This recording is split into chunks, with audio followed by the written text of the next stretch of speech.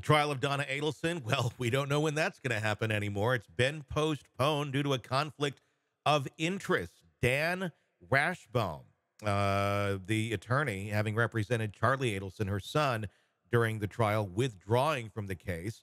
Uh, Charlie was obviously convicted. There's a possibility that he could testify in Donna's case. And that's where the conflict becomes problematic because Rashbaum would possess privileged information uh, from his time representing Charlie, which could have compromised his ability to effectively defend Donna, basically, without breaching ethical boundaries. Uh, that came to light when uh, Charlie revoked the waiver that would allow Rashbaum to represent both him and his mother, forcing that trial to be delayed. Joining me to discuss, Bob Motta, defense attorney. Is this just another tactic of the Adelsons? No, I don't think so. No, like, like I, I, I just wrote an episode about this. Like, like, well, let me. I'm going to turn it around on you. Okay. Um, why? Why do you think? What do you think the benefit for defendants or the defense when somebody's in custody is to delay? Like, what? like I always hear people like, "Oh, it's the defense delay." I'm like, what? What benefit do you think that the defense is gaining by delaying trial when their client is in custody?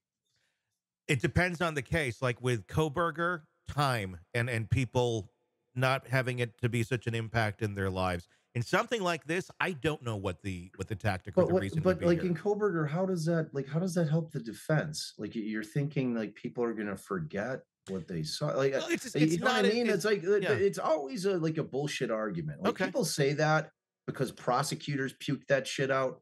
But the reality is, if you critically think about it, there's no benefit when your client is in custody to delaying trial. Okay.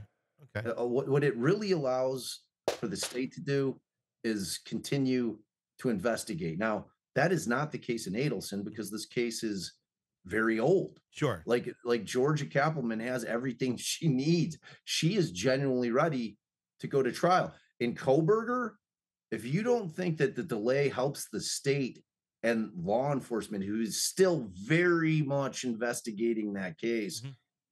you're dreaming because it, it's absolutely a benefit to the state and it's always a benefit to the state. Like like cases that I've handled, I tell people all the time, law enforcement is investigating up until the day of trial. They are always trying to strengthen their case. There is no case where any prosecutor feels like, eh, got everything I need. I, I don't I don't want any more evidence. I'm, I'm good. good. Yeah. You know what I'm saying? So yeah. like, no, I don't think it was I, I think it was uh just absolute moronic behavior on the part of Rashbaum. There yeah. is no way in hell he should like any part of him that thought that there wasn't going to potentially be a massive conflict mm-hmm. from the get. Yeah. You represented the woman's son. For the same act or actions, and you know for a fact that the state, as they have called everybody that they can from the Adelsons, especially your sister, there is no way they're not calling Charlie. Now, is Charlie going to take the fifth? Probably. Mm-hmm. I would. He's trying to appeal. I don't know that he would, but like, like it, it's just it, it's a massive conflict, and they have conflicting. Like the best thing for Donna's lawyer to do would be, yeah, it was my son. I didn't have shit to do with it. You got the guy. Yeah. Leave me the fuck out of it. Like, and when Rashbaum's on the team, that wasn't happening. Mm-hmm. Because if you go back to the comments that the now lead counsel said yesterday, that was yesterday, right? Or was that the day before? Tuesday. I don't remember anymore. I can't remember either, dude. It's all a blur. Yeah. I think it was Tuesday. Yeah. He said, now that Danny's not there, something to this fact, I'm paraphrasing. Mm-hmm. Yeah. Now that Danny's not there, well, now we can change our defense strategy. That tells you all you need to know. True. Like like Dan wasn't going to be Rashbaum was not going to be willing to throw Charlie under the bus to sacrifice Charlie to save Donna. Mm-hmm. And Donna might not be willing to do it either. But if I'm her attorney, I'm trying to convince her that is the move. Yeah. He's already done. He's convicted. He's not going to win an appeal. Mm-hmm. He's fucked. Your son's life is over He's uh, so do you want to do you want for the principle of the thing? Do you want to join in on that and and just serve the rest of your life in prison? Do you think that's really what Charlie wants you to do? Like Charlie did her a favor by refusing to waive privilege. Mhm. He was really forcing his mother's hand Yeah. because Charlie had to have talked to an attorney, and that attorney would have said, "Look, Chuck, here's the deal, man. Like, if you want to still try to take care of your your mother is not helping herself.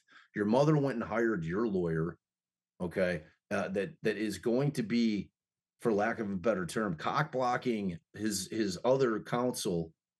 His, his trial partner from being able to employ the best defense for her, which is to blame you, the guy who's sitting in prison that you're the one who orchestrated it. You didn't have shit to do with it. You didn't pay for it. You didn't do, you know what I mean? So like when when Charlie did that, it was really him looking out for his mother hmm by saying I refuse to waive the conflict because that did not allow him to continue on with his mom, hmm you know. So yeah, it's interesting, man. It's interesting. I I, I thought it was crazy from the get, Yeah. be honest.